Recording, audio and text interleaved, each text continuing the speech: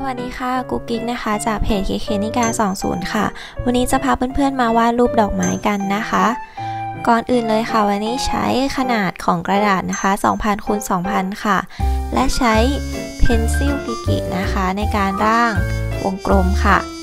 ถ้าเราอยากให้เป็นวงกลมที่เส้นเป็นเส้นตรงๆนะคะ แบบไม่มีขยุกขยิกเราจะต้องค้างปากกาไว้สักครู่นะคะ จากนั้นพอมันมีจุด 4 จุดขึ้นมาเราสามารถขยับเส้นของวงรีได้นั่นเองค่ะ แล้วเพิ่มเลเยอร์ใหม่นะคะ วาดวงกลม ถ้าอยากให้เป็นวงกลมนะคะ เราจะต้องใช้นิ้วแตะที่หน้าจอหนึ่งครั้ง แล้วก็พร้อมๆกับการค้างปากกาเนาะวาดวงกลมนี้นะคะ ให้เพื่อนๆแบ่งออกเป็นขีดเส้นนะคะ ออกเป็น 4 แฉกด้วยนะคะ แล้วดูพิเคทขึ้นมาเรื่อยๆเลยค่ะ เพื่อที่ว่าตรงนี้นะคะจะเป็นเขาโครงของกลีบดอกไม้นั่นเองนะคะ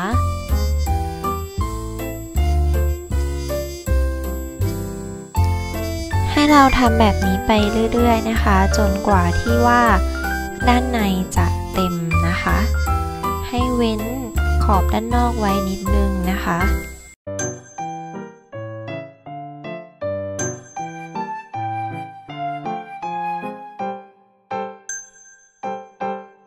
ตรงนี้นะคะกิ๊กจะกดที่เครื่องหมายลูกศรค่ะ และใช้คำว่า distort นะคะ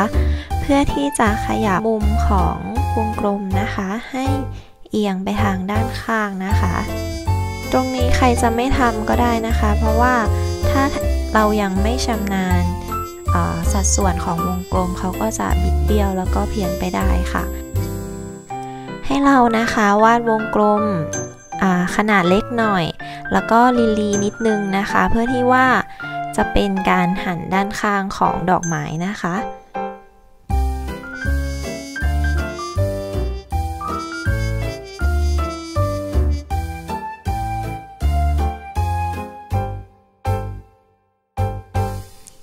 ค่ะหลังจากนั้นเราจะรวม layer เป็นดอกด้านในนะคะ ให้เพื่อนๆ แตะไปที่ layer และสะบัดไปทางขวามือเล็กน้อยค่ะ จากนั้นกดคำว่ากลุ่มนะคะ ก็จะเป็นการรวม layer ให้เราเพิ่ม layer ขึ้นมาอีกหนึ่งอันค่ะ และทำการวาดขอบด้านนอกนะคะ เหมือนเดิมเลยก็คือวาดเป็นรูปวงกลมที่ออกค่อนข้างไปทางรีๆนะคะ แล้วมีขีดสีขีดเหมือนเดิม แต่เพิ่มเติมก็คือเราจะมีขอบหยักๆ เป็นส่วนโค้ง ของกลีบดอกที่พับลงนะคะ วาดตามได้เลยค่ะ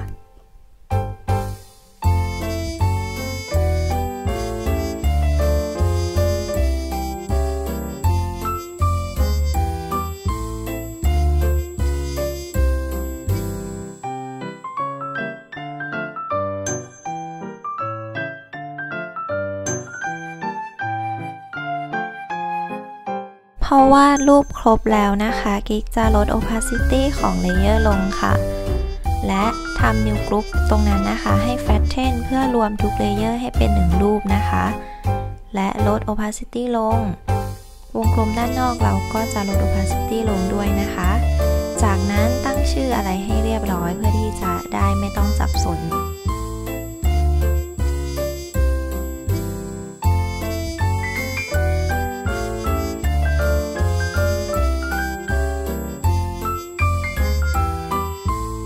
ต่อมาเราจะมาลงสีนะคะ โดยใช้ water 2 ค่ะ เลือกสีส้มนะคะ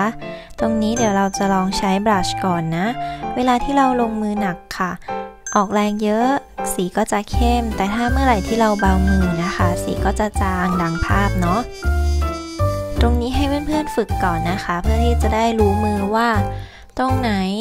เราอยากได้ texture ที่มันมีสีเข้ม ตรงไหนเราอยากได้ texture ที่มีสีจาง เราก็จะผ่อนผ่อนมือลง เวลาวาดรูปนะคะ เราจะพยายามวาดให้กลีบดอกมันอ้วนนะคะ แต่ตรงนี้ที่กิ๊กวาดเนาะกลีบดอกมันผอมเกินไป มันจะห่างกัน มันจะทำให้ไม่ค่อยสวยเท่าไหร่นะคะ เมื่อเปรียบเทียบกับกลีบดอกที่อ้วนเนาะเพราะฉะนั้นแล้วกิ๊กจะลบรูปที่เป็นกลีบดอกที่ผอมออกนะคะ แล้วก็วาดใหม่ให้กลีบดอกมันอ้วนๆนะคะ จะสังเกตว่ากิ๊กจะเหลือพื้นที่ว่างสีขาวไว้นะคะ เพื่อที่จะเป็นแสงให้แสงมันเข้านะคะ แล้วก็เพิ่มความเป็นธรรมชาติของสีน้ำนิดนึงนะคะ ให้เว้นขอบขาวไว้นิดนึงนะคะ และเวลาระบายสีเนาะเราจะไม่ระบายแบบเป็นปื้นเดียวเราจะมีกดหนักกดเบาแล้วก็ยกปากกาขึ้นบ่อยนะคะ ถ้าอยากได้ตรงไหนที่มันเข้มๆ แล้วก็ยกปากกาขึ้น แล้วก็ลงสีใหม่ อีกรอบนึงก็ได้ค่ะทำแบบนี้ไปเรื่อยๆนะคะ ค่อยๆ ฝึกมือเราไปเนาะตรงไหนที่เราทำเส้นไว้นะคะ ก็จะเป็นกึ่งกลางของกลีบดอกนะคะ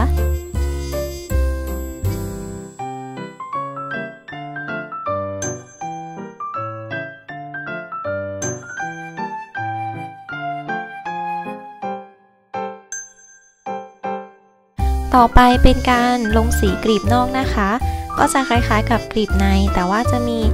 ด้านหนึ่งที่เราวาดรูปแบบพับไว้นะคะ เราก็จะลงสีตรงนั้นเหมือนเป็นครึ่งวงรีนะคะ ส่วนอีก 3กลีบที่เหลือเราก็จะระบายเหมือนด้านในเลย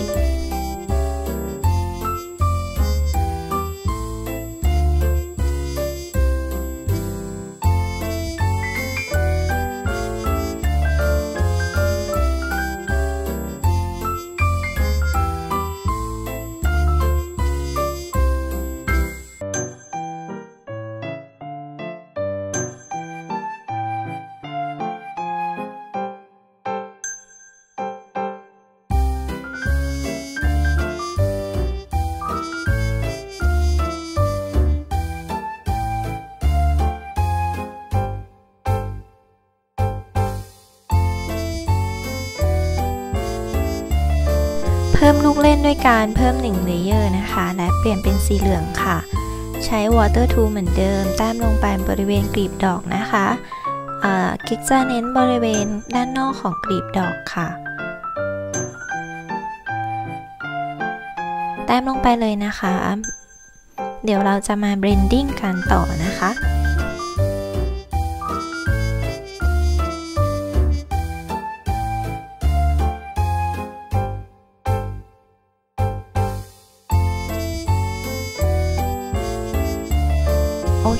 เราเปลี่ยนแปลงนะคะ ให้มาเป็นใช้ blending เนาะ จากนั้นก็ให้เกลี่ยนะคะบริเวณ สีเหลืองกับสีส้มนะคะ ให้เข้ากันค่ะ ค่อยๆเกลี่ยนะคะ เบาๆมือ พยายามอย่าให้สีเหลืองฟุ้งออกนอกกลีบดอกนะคะ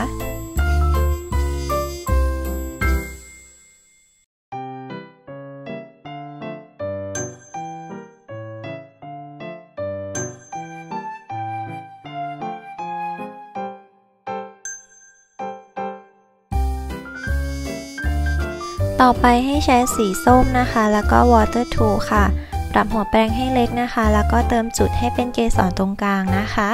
แต้มลงไปให้ครบทุกดอกเลยนะคะ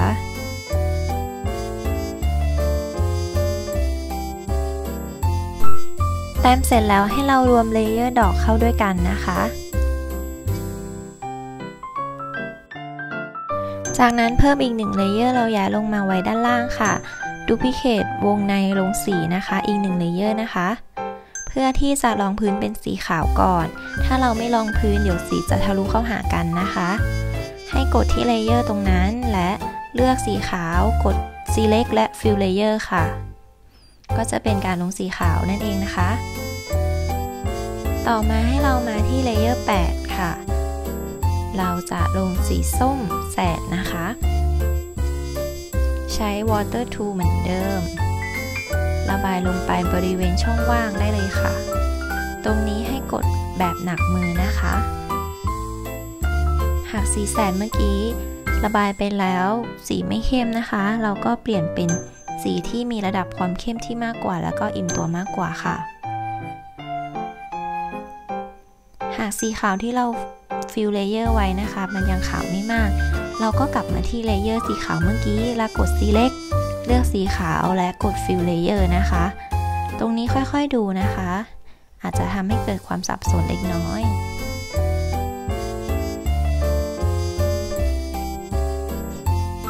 จากนั้นก็กลับมาระบายสีแสดด้านล่างเนาะ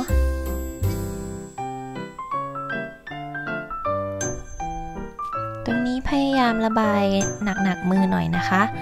แต่การที่เราหนักมือไม่ได้หมายความว่าเราจะไม่เหลือส่วนที่มันเป็นสีจางๆนะคะ พยายามสีน้ำเราจะไม่ระบายเป็นปื้นเดียว เราจะต้องมีความแตกต่างของสีอยู่อยู่ร่วมกันนะคะ ต่อไปนะคะใช้สีเขียวค่ะทำเป็นก้านดอกและใบนะคะ มันเริ่มลงน้ำหนักเข้มเบาด้วยเนาะ ใกล้ๆกับดอกไม้เราก็จะมีเงาเล็กน้อยนะคะ เพราะฉะนั้นเราจะเข้มมือหน่อย ส่วนที่เป็นตรงกลางนะคะ เราก็จะเบามือนิดนึง จากนั้นวาดใบไม้ตามใจชอบได้เลยนะคะ และเช่นเดียวกันเราจะมีการลงน้ำหนักมือเข้มเบาตรงนี้ปล่อยตามอิสระแล้วก็ ทำตามที่เราชอบได้เลยค่ะ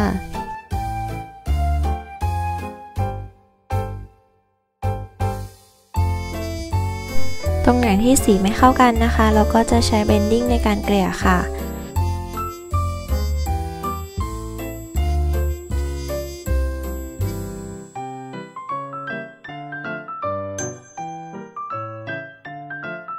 จากนั้นนะคะเพิ่มแสงเงาโดยใช้ selection tool นะคะเลือก free hand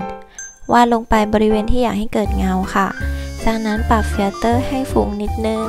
แล้วไปที่คาถาวิเศษ เลือก hue saturation and brightness ปรับ brightness ให้ลดลง ก็จะแปลว่า เพิ่มความเข้ม ถ้าหากว่าปรับ hue นะคะ ก็คือจะเป็นการปรับสี ส่วนตัวกลางนะคะก็คือ saturation ก็คือปรับความอิ่มตัว อิ่มมากสีก็จะสด แต่ถ้ายิ่งอิ่มตัวน้อยสีก็จะเป็นสีเทาๆนะคะ ตรงนี้สามารถเลือกเล่นได้ตามใจชอบเลยค่ะ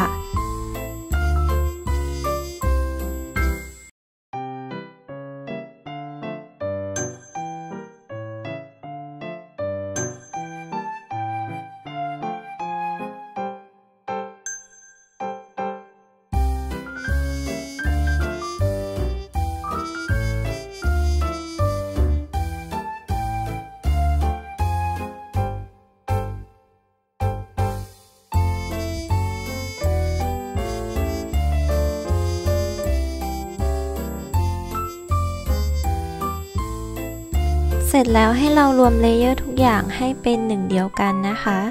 จะกรุปแล้ว flatten หรือว่าจะใช้รวม layer แบบขยับไปทางด้านขวาและกดรวมได้เลยนะคะกรุปแล้ว flatten ก็ได้ จากนั้น duplicate ดอกไม้อีกหนึ่งดอกค่ะ ใช้ layer ด้านล่างนะคะ เราจะ fill layer ให้เป็นสีขาวค่ะหรือจะมาที่คาถาวิเศษแล้วปรับให้ brightness เป็นสีขาวคือ 100%นะคะ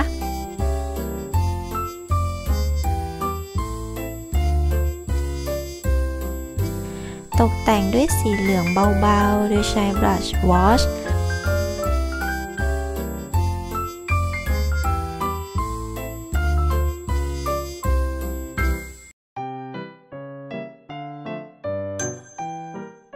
ใช้บรัชที่ชื่อว่า Frick KK นะคะ ปั๊มหัวให้ใหญ่นิดนึง แล้วก็แต้มแบบกดลงไปหน่อยนะคะ เสร็จแล้วให้ปรับสีโดยใช้คาถาวิเศษ Hue Set and Brightness นะคะ ปรับได้ตามต้องการ แค่นี้ก็เป็นอันเสร็จสิ้นค่ะ